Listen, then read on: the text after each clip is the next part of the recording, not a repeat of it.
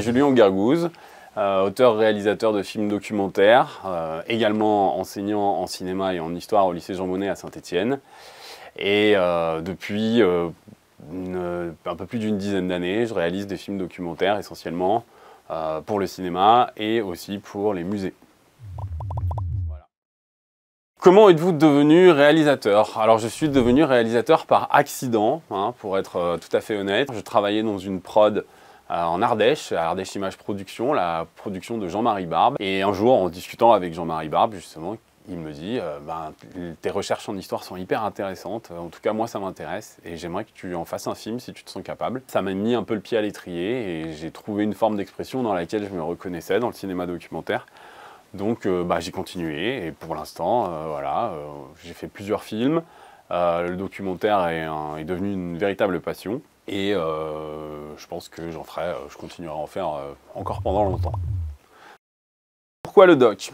Le documentaire est au cinéma un peu ce que le, punk rock est à la musique, c'est-à-dire qu'on peut faire des choses avec peu de moyens. Et ce qui compte dans le cinéma documentaire, c'est quand même d'affirmer un point de vue sur quelque chose hein, et de construire des récits à partir de, de choses du quotidien. C'est là où, où existent les plus belles histoires et les plus fortes. Souvent, elles sont, elles sont là, elles sont devant nous. Et il faut surtout apprendre à les, détecter, à les voir et à s'imaginer comment on peut les, construire pour les raconter euh, euh, correctement, pour, euh, pour donner de la dignité aux gens aussi quand on les filme. Ça, c'est vachement important. Voilà pourquoi le doc. pitcher votre projet. Madame le maire est un film qui suit un personnage euh, qui est Anne-Sophie. Alors Anne-Sophie au début du film est une euh, jeune femme euh, qui vit seule avec ses deux enfants. Et donc cette jeune femme va apprendre que ben, le maire de sa ville est condamné pour agression sexuelle.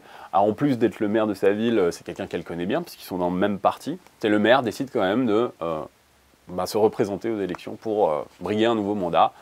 Anne-Sophie va s'opposer à cette décision et va décider de se présenter elle-même euh, contre Marc Petit, en l'occurrence. Et donc, euh, elle va réussir à créer une, dynamique autour d'elle, euh, voilà, de rassembler du monde pour pouvoir éventuellement faire chuter Marc Petit, voire être élu maire de sa ville. Voilà, et pour Anne-Sophie, cette campagne a été, je pense, un, moment important de sa vie. Donc voilà, c'est ça, un polar féministe politique nocturne. c'est à peu près ça. Un coup de gueule ou un coup de cœur Alors des coups de gueule, on pourra en passer beaucoup, notamment en ce moment. Donc euh, bah, je vais préférer parler d'un coup de cœur.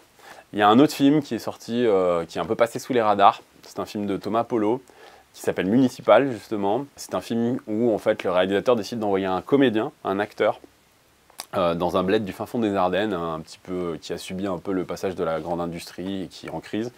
Et il essaye de créer un événement comme ça, autour de la candidature d'un comédien qui n'est pas d'ici.